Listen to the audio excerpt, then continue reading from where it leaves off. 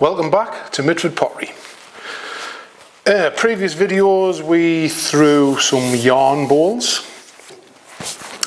So this is just a quick video on running through how I complete these.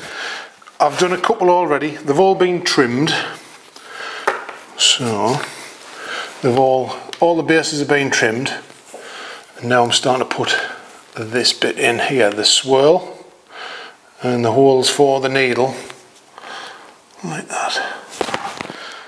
And what we do, that last bit across that bridge there, we leave that in as long as we can. Stops the uh, top edge warping too much. So I've done two already.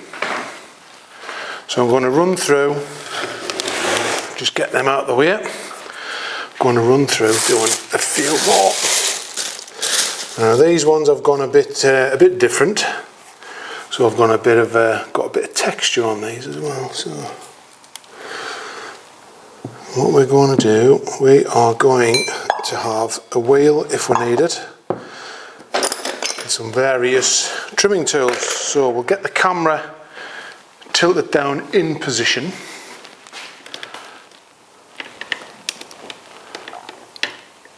so we can see what's going on. So I'm gonna going to run through doing this one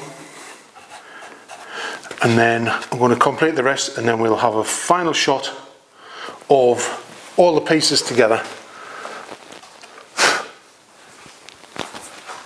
Right, tools we're going to use. Water and a sponge, just a little sponge. Uh, we've got a couple of different size uh, hole tools there and a drill bit. So it gives us three different sizes. Got just a wooden pin tool. And instead of using a potter's knife, I'm using a scalpel. We've got to be quite precise with our, our carvings and we don't want to put too much pressure on the clay because it does get a bit fragile. So we'll get that on our wheel to start with. Uh, we'll just put them upside down.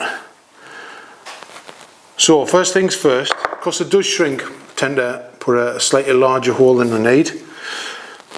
And on the other ones, I sort of aim.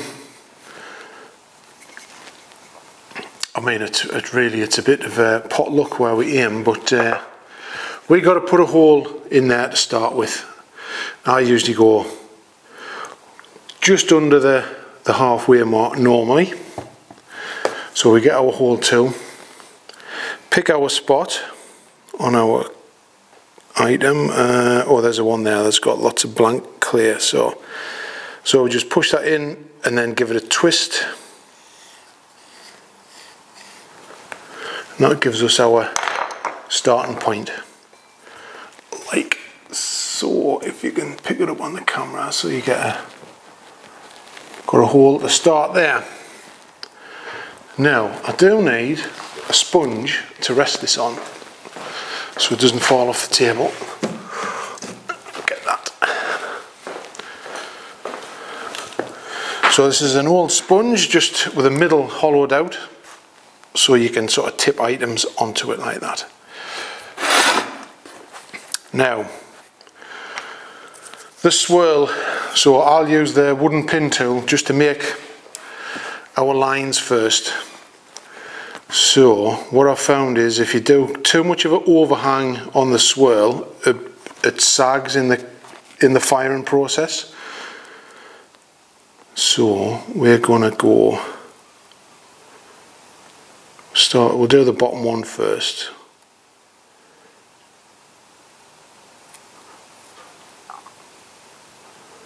So I'm going to follow that curve around. So that becomes the right hand side one.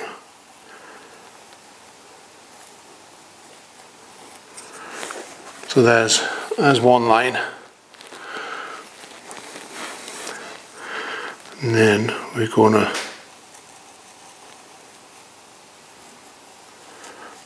follow that round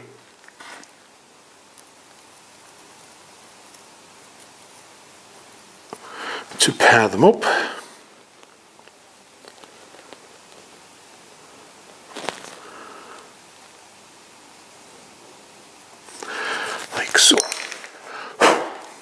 Have a look. So now's the chance to change your mind if you want to. So that's our marks on there. Now the tricky bit, of cutting them out. And what I tend to do is, across the top, I cut it straight across, leaving a few millimetres of clear, and take that rim bit out last thing, and then about halfway, we'll cut it across halfway. What that does is you're taking a, the curly bit of clay out in two, two goes, so you're not putting too much pressure on the clay. And then it's a case of slowly work your way around, especially this bit because they're tighter curls. And if you're happy with your marks, try and, try and follow them.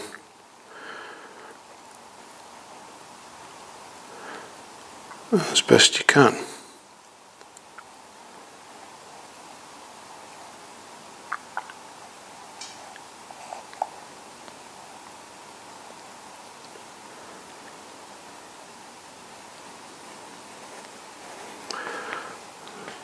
So I'm going to go nearly up the edge, not quite to the edge.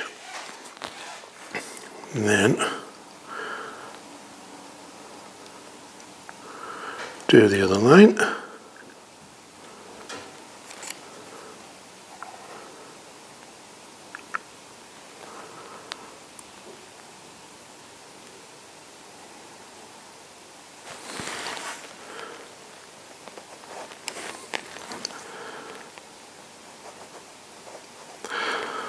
And then when it starts to sort of become two halves, it gets a little bit more precarious because it comes a bit more fragile. You don't want to twist it.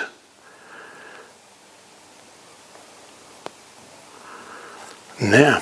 So that's our that's our lines cut now. And I'll try and do this on the side so you can see. So just get a our pin tool and we've got to gently cork that out.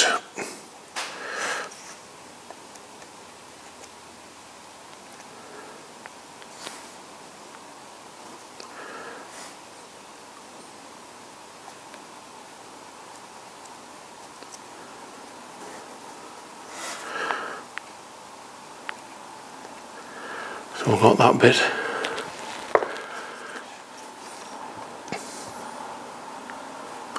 So this bit here, the, the bit that's left curling round, that's the bit that flexes quite a bit. And you want to flex it as little as possible. And you just got to persevere to take that bit of clay out and then you end up like so. So we've got our cut out. Now I need a skinnier sponge than that, I think. So this is the time to uh, smooth any rough edges off, especially this clay because it's quite rough, so it's just a narrow-ended sponge and we're just going to gently go over them edges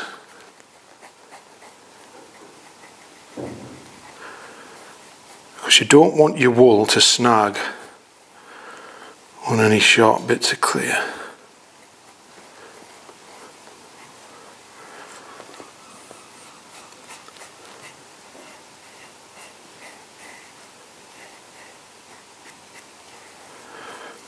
So that's the outside done. Now I found the inside's the hardest bit to do. But because this sponge is round, gives it a bit of a purchase so it doesn't flex the clear too much. Just run the sponge round, getting rid of the rough edges, like so. So we've got that. So now we're just going to free it up. We're going to cut that little bit off there. I'll have to turn it away from the camera I'm afraid so I can do that. I tend to go up towards my finger. I put a sponge there so I don't slice my finger. I just cut through the clear and then hold it there.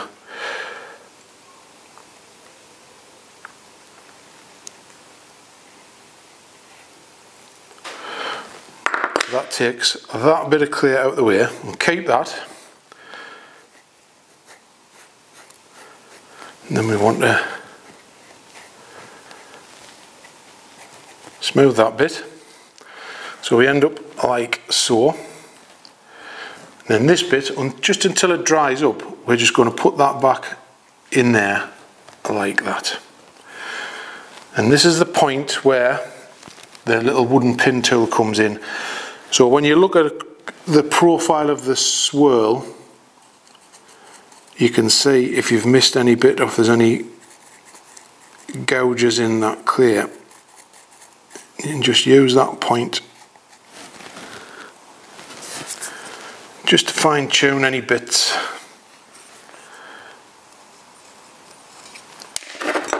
Or if you have to just gently run the scalpel over just to smooth out them curves a little bit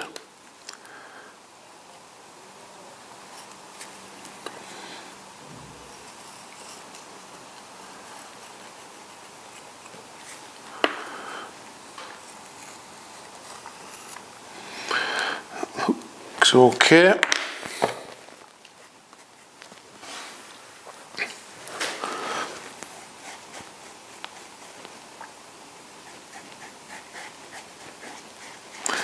Right, happy with that.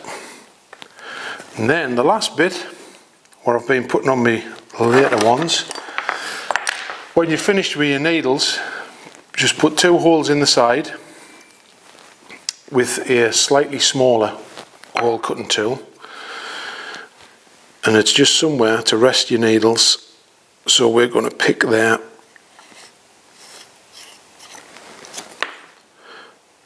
and next to it about there.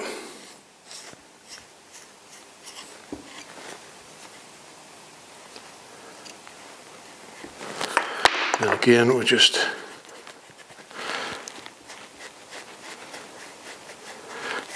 take any rough edges off. And there we have take that out the way so you can see we have a yarn bowl. Make sure there's no dry bits on it.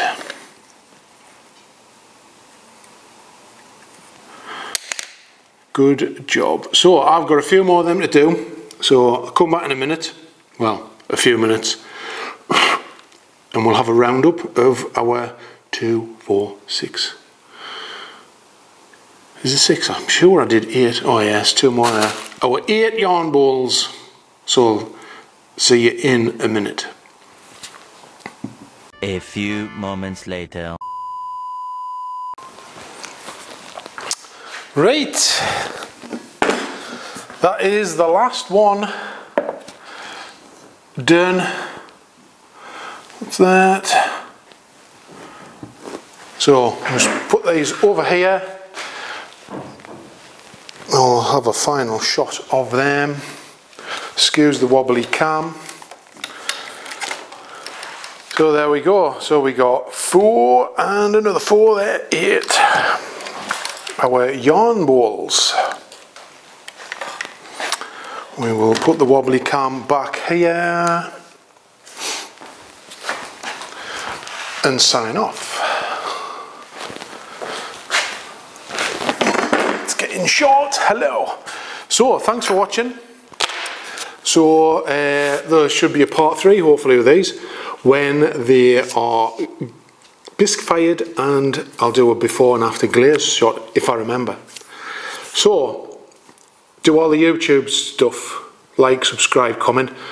Apparently, it does help these small channels grow so do it for your favourite YouTuber. It does help, apparently. And clears the way. And I'll see you in another video very soon. Until then, bye for now.